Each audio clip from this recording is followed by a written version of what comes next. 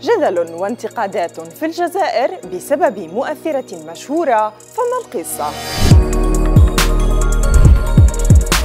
إيناس عبد الله هي مؤثرة لديها الملايين من المتابعين على مواقع التواصل تم تعيينها كسفيرة العمل الإنساني للهلال الأحمر الجزائري لتفتح موجة انتقادات كبيرة المنتقدون اعتبروا أن الهلال الأحمر أخطأ في اختيار مؤثرة اشتهرت بفيديوهات الموضة والرقص ووصل إلى حد وصف الأمر بالرداءة وقالوا إنه كان من الأجدر تعيين أشخاص مؤثرين فعلا في المجال. لتتدخل مديرة الهلال الأحمر وتقول إن المنظمة تفتح أبوابها للجميع ولا يوجد مقابل مادي أمام هذا العمل التطوعي بل إن الأعمال الخيرية تأخذ من وقت وجهد المتطوعين إيناس العبدلي ردت واستنكرت موجة الانتقادات التي واجهتها قائلة إنها أرادت فقط التطوع بمجهودها ووقتها للعمل الخيري وأنتم ما رأيكم؟